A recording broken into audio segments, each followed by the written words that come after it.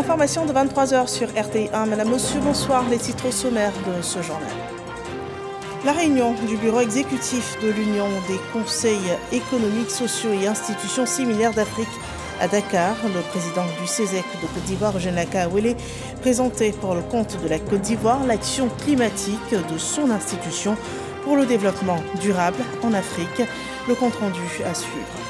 Nous verrons aussi les progrès économiques dans la région de l'Indénié et du euh, Diabla, euh, impulsés par les investissements pour l'amélioration des routes. Nous vous invitons donc sur la route de l'Est, sur la voie qui part d'Abidjan pour allier les frontières du Burkina Faso et du Ghana dans le dossier EcoPlus de la semaine.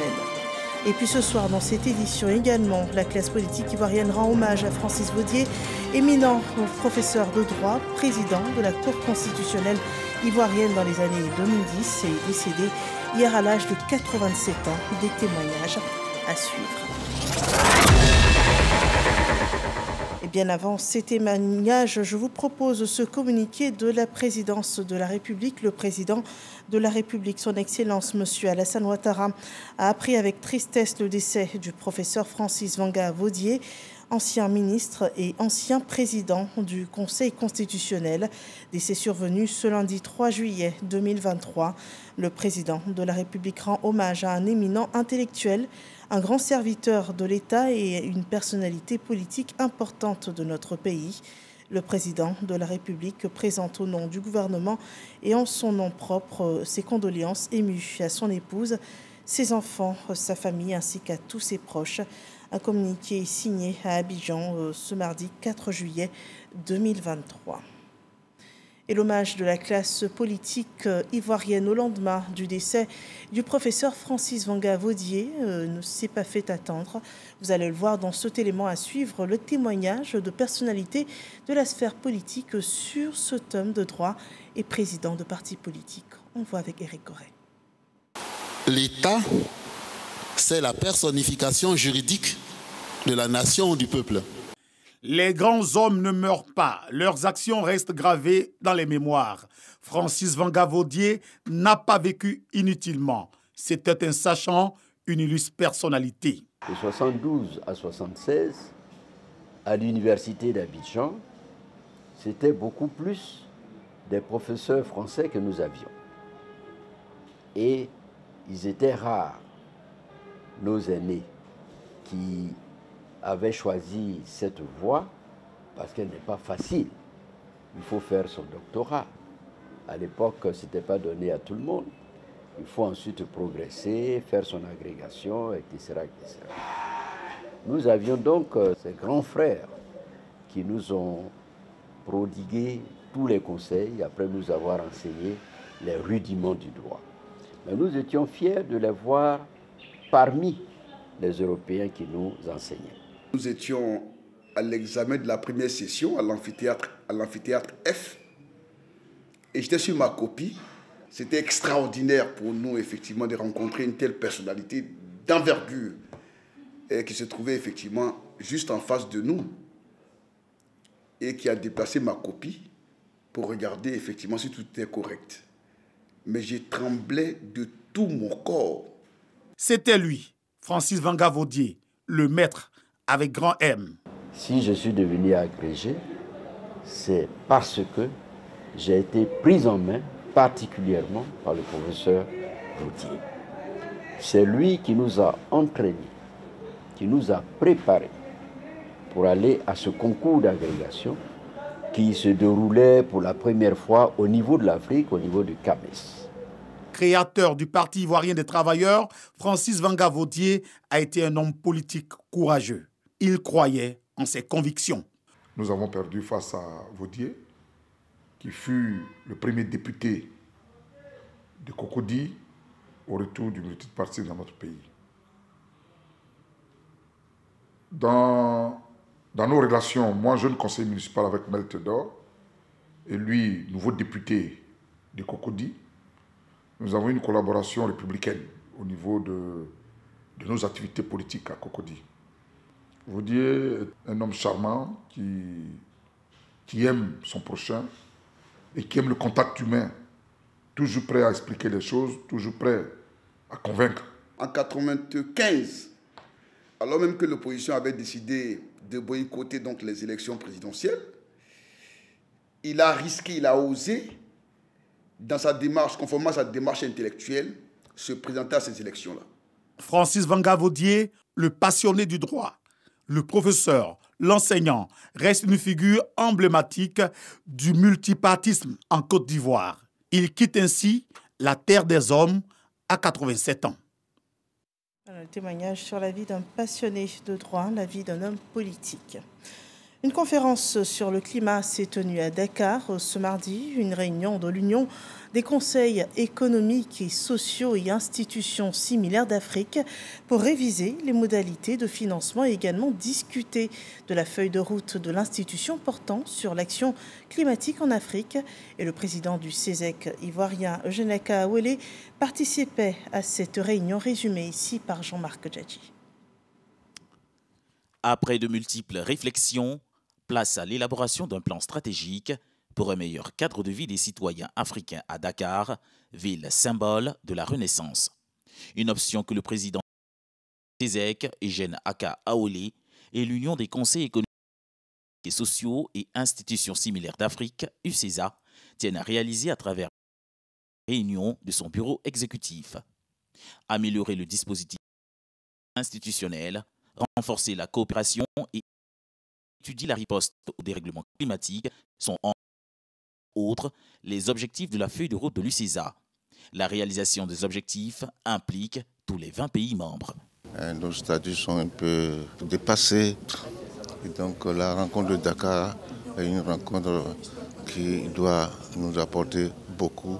Euh, l'autre élément important, en tout cas, c'est aussi, euh, disons, de redynamiser les institutions à partir donc, des efforts que chacun doit faire, notamment dans le sens, disons, du, du, support financier.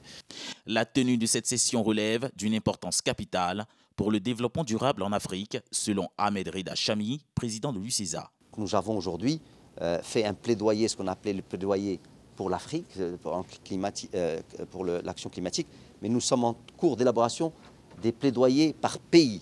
Nous allons commencer par la Côte d'Ivoire. Le phénomène des gaz à effet de serre est la cause principale du changement climatique, selon l'enquête 2023 contenue dans le plaidoyer de la Côte d'Ivoire, supervisé par le président du CESEC et vice-président de l'UCESA, Eugène Akaole. En termes de solutions vertes, des actions ont été déjà réalisées dans le pays. Vous savez que lors euh, de la COP 15, euh, nous avions, le président avait pris une décision importante, celle euh, euh, euh, de, l'initiative d'Abidjan qui euh, doit être opérationnalisée, qui est soutenue par les institutions financières internationales, depuis la, BAD, la Banque africaine de développement, la Banque mondiale, le CESE, assume pleinement sa, responsabilité. Et nous sommes heureux que ici à Dakar également, nous reprenions les, les, principaux thèmes qui doivent L'expertise locale, la création d'un siège permanent de l'UCISA à Rabat, la finalisation des plaidoyers pays et plans stratégiques ont été notamment recommandés à l'issue des travaux. Cette réunion du bureau exécutif de l'Union des conseils économiques et sociaux et institutions similaires d'Afrique, UCISA, précède son assemblée générale qui se tiendra à Kinshasa, en République démocratique du Congo, dans les mois à venir.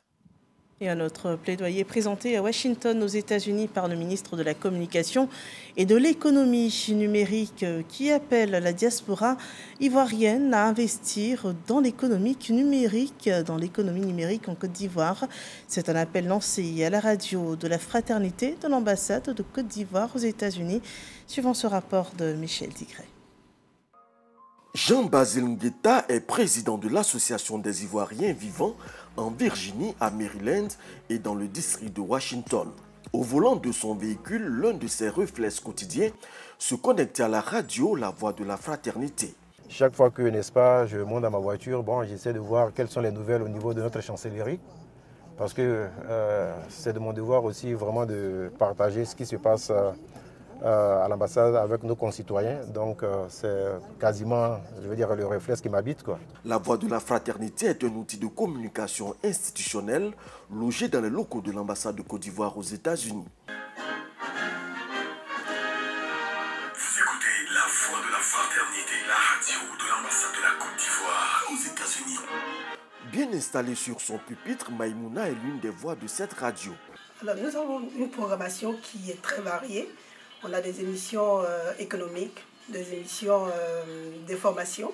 Et également aussi, euh, on a d'autres émissions où on reçoit des personnalités de la diaspora qui ont réussi, des modèles. Lorsque nous avons en fait de la visite euh, de différentes personnalités du pays, il y a l'opportunité en fait de s'informer de leur agenda et de voir si cela convient avec notre emploi du temps aussi ici pour qu'on puisse vraiment les voir et voir qu'est-ce que nous avons partager nos différentes visions pour l'avenir du pays. L'initiateur de Radio Fraternité est Ibrahima Touré, ambassadeur de Côte d'Ivoire aux États-Unis. Nous sommes dit qu'il fallait trouver un moyen d'organiser des, euh, des, émissions autour des, services que nous, euh, dont nous disposons ici, notamment les services consulaires, pour permettre à nos compatriotes de poser des questions sur les procédures pour l'établissement des passeports, les cartes consulaires, les certificats de euh, les extraits de naissance et tout. Et donc tout part de là. Mais également, nous sommes dit qu'il fallait un outil qui nous permette de, faire la promotion des valeurs euh, qui, fondent euh, notre nation, la, la, fraternité, la paix, la fraternité, en toutes les composantes de la communauté euh, ivoirienne ici aux États-Unis d'Amérique. L'invité spécial de ce jour est le ministre de la Communication et de l'économie numérique. Il est reçu pour faire le bilan de sa mission aux États-Unis, mais surtout lancer un important message à la diaspora ivoirienne. Le président de la République a lui-même lancé un appel à la diaspora leur demandant donc euh, de revenir au pays pour pouvoir contribuer à son développement. Avec le développement des infrastructures que nous sommes en train de faire, afin notamment d'amener de la connectivité partout dans le pays, afin de pouvoir héberger sur place euh, nos données, afin d'améliorer la couverture donc des réseaux de téléphonie donc partant de l'Internet euh, mobile, nous pensons que des opportunités peuvent se créer pour euh, les Ivoiriens de la diaspora afin de pouvoir euh, investir dans leur pays ou pourquoi pas créer des entreprises ici qui pourraient commercer donc avec le pays. Radio Fraternité peut être également écoutée en podcast grâce à une application sur le téléphone portable scientifique ivoirienne appelle aussi à un soutien pour accroître les capacités des chercheurs en Côte d'Ivoire. Une convention a ainsi été signée la semaine dernière entre le Fonds STI, le Fonds national pour la science, la technologie et l'innovation, et le FNS, le Fonds national suisse pour la recherche. Les deux institutions ont en vue l'organisation du Conseil mondial de la recherche. C'est un événement prévu en 2024. Hamza Diaby revient sur les implications de cette collaboration. Ce 28 juin, le FNS reçoit une délégation du FONSTI, le Fonds national pour la science, la technologie et l'innovation. La visite de ce jour a abouti à une signature de partenariat entre les deux fonds pour le grand bonheur de la partie ivoirienne. C'est une convention de partenariat qui nous permettra euh, donc de bénéficier de l'expertise, l'expérience du Fonds national suisse. C'est une convention qui facilitera les échanges entre le monde scientifique ivoirien et le monde scientifique suisse. Enfin, c'est une convention qui nous permettra d'organiser ensemble le Conseil mondial de la recherche, édition 2024, qui sera donc conjointement organisé par le Fonds national suisse et le Fonds STI à Interlaken, ici en Suisse. Le Fonds national suisse est la principale institution suisse qui soutient la recherche dans toutes les disciplines académiques, de la physique à la médecine en passant par la sociologie. On a eu une collaboration longue avec le FONSTI, donc l'agence de recherche ivoirienne, dans les domaines d'organisation d'une telle agence, d'évaluation de haute qualité des euh, requêtes qui ont été soumises et aussi dans, maintenant dans le domaine de la science ouverte, où on vient de discuter euh, comment améliorer la situation pour les pays euh, comme euh, la Côte d'Ivoire. Le FNS a été créé en 1952 sous la forme d'une fondation privée avec pour tâche principale l'évaluation des requêtes de recherche. En attribuant des fonds de recherche publics selon le principe de la concurrence, le Fonds national suisse contribue à la haute qualité de la recherche en Suisse propose à présent ce communiqué de la CEI, la commission électorale indépendante qui informe les électeurs et électrices que conformément au texte en vigueur favorisant la représentation de la femme dans les assemblées élues et au décret fixant le nombre des conseillers régionaux et des conseillers municipaux, le nombre minimal de femmes exigées sur les listes de candidature par circonscription électorale est consultable sur le site internet de la CEI www.cei.ci et également publié par voie de presse. Prenons à présent la route de l'Est pour découvrir les pas posés pour le développement des investissements à fort impact sur la voie qui part d'Abidjan pour rallier les frontières du Burkina Faso et du Ghana. 52 milliards de francs CFA pour la section à Bondoukou, 133 km de linéaire et environ 23 milliards de francs CFA pour le bitumage de l'axe Agnibilekro. Takikro, frontière du Ghana, a aussi euh, été bitumé. Donc cette voie, c'est un tronçon de 33 km de long des investissements économiques qui impulsent le développement dans cette région de l'Indénie et du Ablin. Le constat de Mahama Traoré et Lamine Dramé pour le dossier EcoPlus.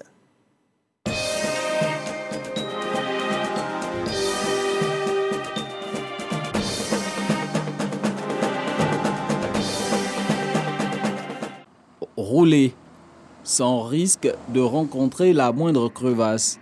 Confort de circulation garanti sur 33 km de route neuve, celle qui relie le département d'Anibilekro au village de Takikro. Désormais, un peu plus d'une demi-heure contre pas moins de deux heures par le passé, il n'en fallait pas plus pour qu'une compagnie de transport ouvre sa nouvelle gare juste à l'entrée de Takikro. L'ambiance y est timide car le transporteur n'offre pour l'heure qu'un seul départ quotidien. Mais avec la nouvelle route, le gérant espère une meilleure rentabilité de son investissement. Souvent, on gagne 50 passagers par jour. Des fois, ça dépend. Il y a des jours, on ne gagne rien. Il y a des jours aussi, on gagne.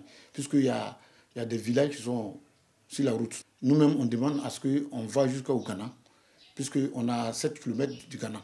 On va faire ça il faut un papier international. Dans la dizaine de villages traversés par la route Anibile-Kro-Takikro, naissent de nouvelles opportunités d'affaires comme cette station de carburant en cours de finition.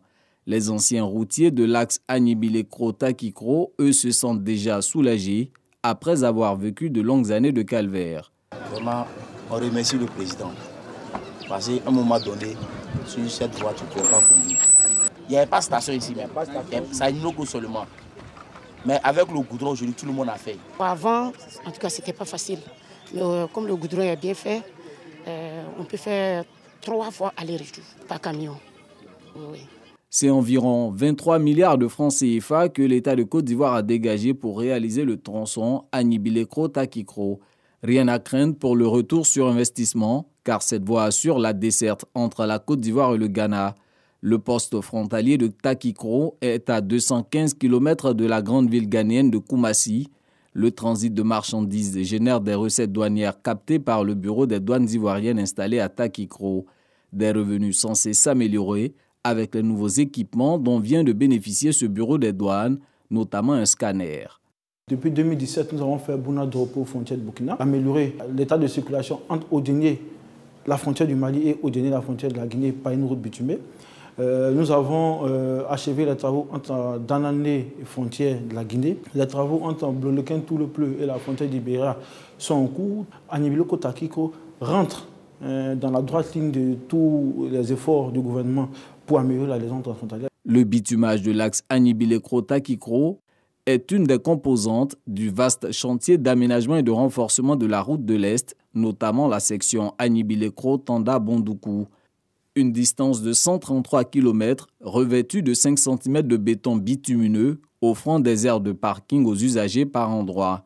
Coût des travaux, plus de 52 milliards de francs CFA. Nous travaillons à faire en sorte que la section qui part depuis Bondoukou jusqu'à Bouna puissent aussi connaître le même sort que Anibloku Bandoukou, de sorte à avoir un corridor, la route de l'Est, complètement réhabilité et cela permettra de faciliter la circulation et cela aussi aura un impact important sur l'économie de notre pays.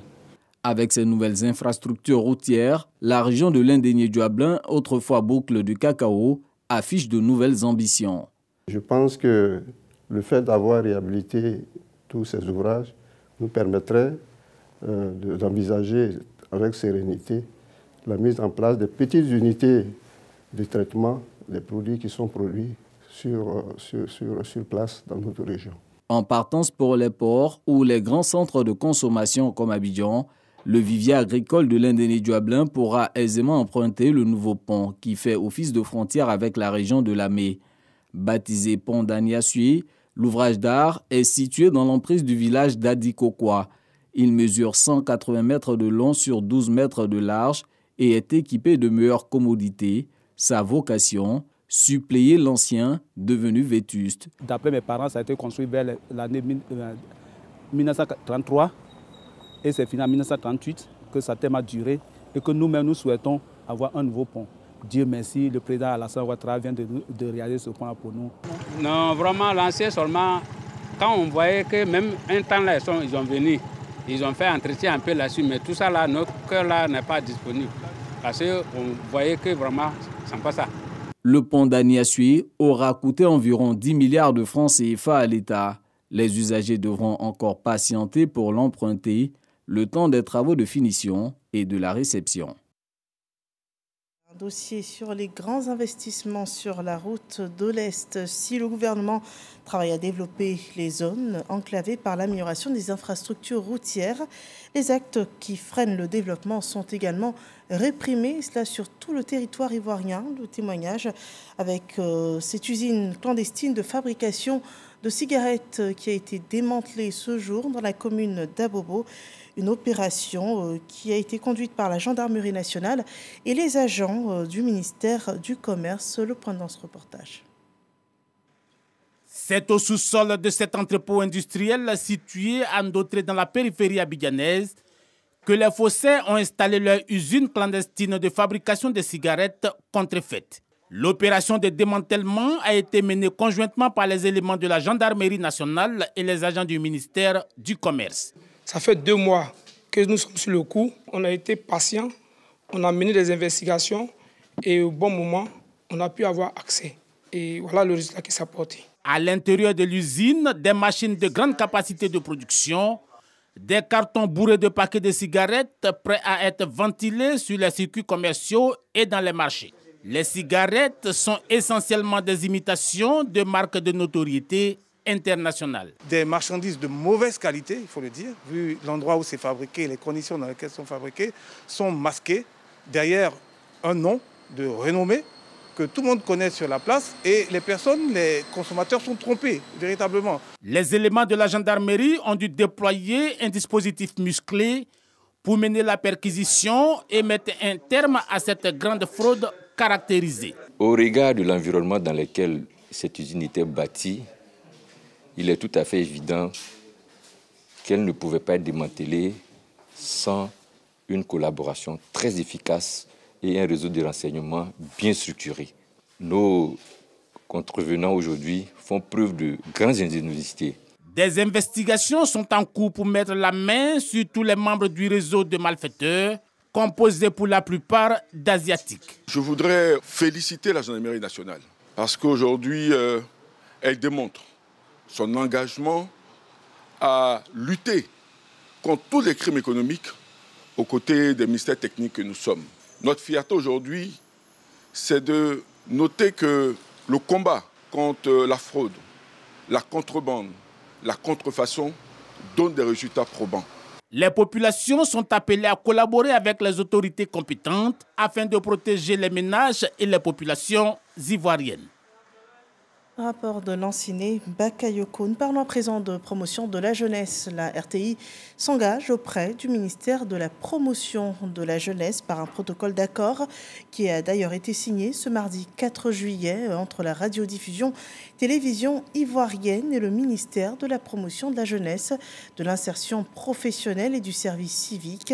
La part de la RTI sera assurée par la diffusion euh, sur les antennes d'émissions consacrées à la jeunesse ivoirienne. Le reportage de Amidira Souba et Didier Nguessan nous en dit davantage.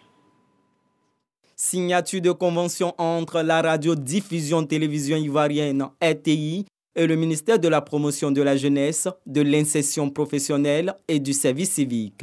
À travers ce partenariat, le ministère et la télévision nationale apportent leur contribution à la réussite de l'année dédiée à la jeunesse. Il s'agit pour nous d'accompagner encore euh, davantage les actions au profit de la jeunesse, telles que initiées par ce ministère et tous les autres ministères qui sont impliqués dans l'aspect opérationnel de cette année de la jeunesse, tel que décrété par son Excellence euh, le Président de la République, son Excellence Alassane Ouattara.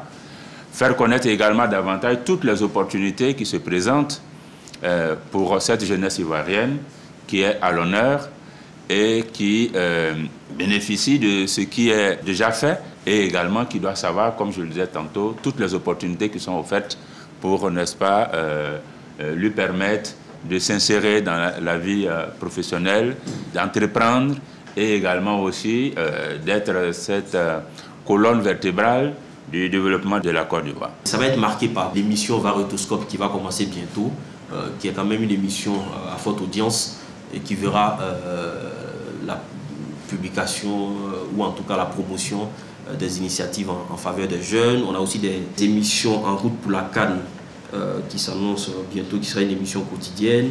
Il y a des jingles également qui seront diffusés lors des, JT. Euh, il y aura également des magazines expression euh, jeunes, des magazines plateau également de 52 minutes quasiment pour mettre en avant les initiatives en faveur des jeunes. Et puis surtout le hashtag année de la jeunesse qui passera en boucle et qui sera vraiment un peu porté également par, euh, par la RTI euh, à travers ces différentes émissions. Des émissions de vacances pour divertir tout en occupant sainement les jeunes. Aussi du bénévolat pendant la Cannes 2023. La jeunesse ivoirienne saisit ainsi toutes les opportunités qui se présentent à elle. Voilà de grands programmes qui portent haut le thème de l'année 2023 année de la jeunesse en Côte d'Ivoire. C'est la fin du circuit culturel à la Mecque pour cette année 2023. Euh, à l'occasion donc de ce pèlerinage, trois ministres étaient auprès des pèlerins ivoiriens. Une délégation ministérielle conduite par la ministre d'État, ministre des Affaires étrangères, de l'intégration africaine et de la diaspora. Kandia Camara a d'ailleurs rendu visite aux pèlerins du contingent étatique pour transmettre les salutations et encouragement du président de la République, Abou Sanogo. La ministre d'État, ministre des Affaires étrangères, de l'intégration africaine et de la diaspora, Kandia Kamaha, la ministre du Plan et du Développement, Niali Kaba, et la ministre de la Femme, de la Famille et de l'Enfant, Nassene Batouré, aux côtés des pèlerins du contingent étatique pour la cérémonie de clôture de la mission du Hajj à l'hôtel qui accueille l'ensemble des pèlerins ivoiriens. Il s'agit pour la délégation, conduite par Kandia Kamara, de transmettre au commissariat du Hajj et aux pèlerins les félicitations et les encouragements du président de la République Alassane Ouattara. Une visite qui a été appréciée à sa juste valeur. Je voudrais ici rendre un vibrant hommage à son Excellence M. Alassane Ouattara, président de la République de Côte d'Ivoire, pour sa constante sollicitude et les efforts financiers ainsi qu'institutionnels continus qui ont permis à la Côte d'Ivoire de se hisser au rang des différences mondiales en matière d'organisation de Hajj et de se classer parmi les nations bénéficiant du projet innovant dénommé la route de la Mecque dont l'intérêt n'est plus à démontrer. Au nom de la délégation ministérielle, la ministre d'État Kandia Kamara s'est félicité de la bonne organisation du Hajj et a appelé les pèlerins à prier pour le chef de l'État et pour la Côte d'Ivoire. Je voudrais, au nom du président de la République, les remercier très sincèrement pour cette belle initiative, car euh, ils ont élevé des prières afin que Dieu accorde sa grâce infinie à notre beau pays, à son président, aux populations ivoiriennes, afin que tout le monde ait la santé, la longévité, que notre beau pays demeure en paix.